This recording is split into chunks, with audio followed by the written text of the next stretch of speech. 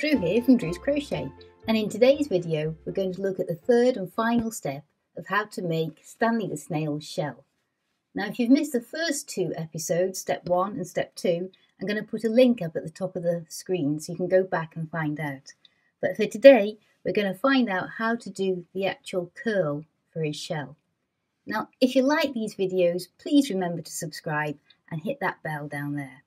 Now let's get on with the third and final step. Okay, so if you finished steps one and step two, you should now have a cone that looks a bit like this. And can you see the whole of it is covered in this very thick and beautiful ridging. If you can see that there, let's get it up close to the camera. And it's all the way around it in a spiral. Now what we want to do to get this into a shell like is to make that curl under there so we can put it on the back of Stanley and make a good snail shell. So first of all, obviously, cut the thread so we can got something to work with. Get a tiny bit of stuffing and just put it right at the very top. You don't want too much up there, you just want enough so it isn't very flat at the very end. Don't want a lot. We still want it to be able to curl around, okay? Right, now we've done that, I want you to get your needle and thread the end bit because we've left a long tail because you're going to need a long tail. Right? Thread the needle. Take your time about it. Okay. Now this bit is the intrinsic bit. Right. If you can see every ridge, we want to take our needle from this one, we want to go through the base of every stitch going down, down to the end of the cone. So you don't, don't try and get it go through the entire thing. You just want to go to the base of every stitch you've just made. Just through once through every row. Just carry on down. Don't worry, you don't have to do all of it in one go. Just get it as far as the needle will go and pull that through. Don't pull too hard yet. Just carry on doing it in a straight line down to the bottom of the cone.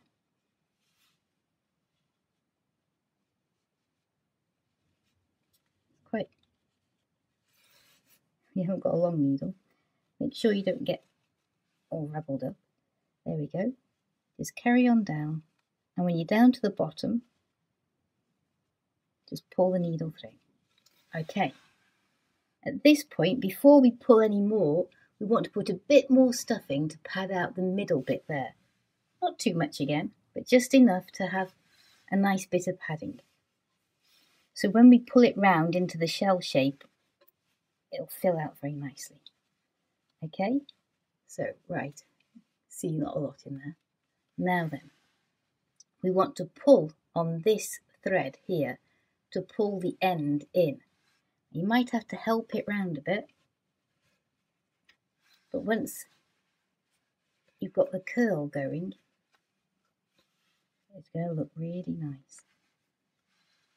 Okay, now then, you see, really nice curl there. Now then, once you have that and you, it's the curl that you want to, to keep there, secure the bottom bit, the thread that you've got there, secure it at the bottom so the curl doesn't come undone again. So it just means doing a few stitches at the bottom to make sure it doesn't come undone. And you might also want to take that back up through the base of the stitches again so you, people can't see it and go to the bottom of the curl and secure that at the same point where it touches the shell okay so can you see that there?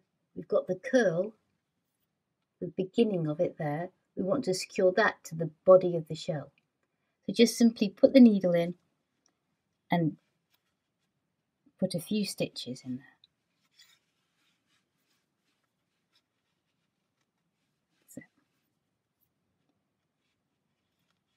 And once that's secure, and it won't come undone again,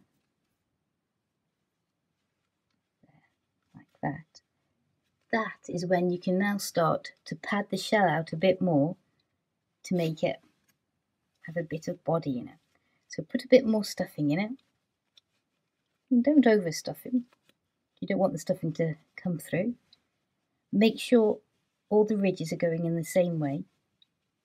You can see it's starting to, to come out nicely. Actually, at this point, you can see, can you see? You can see the base as well, because we made the base the same colour. If you did a different coloured base to the ridges that are going around, that could have a really nice effect.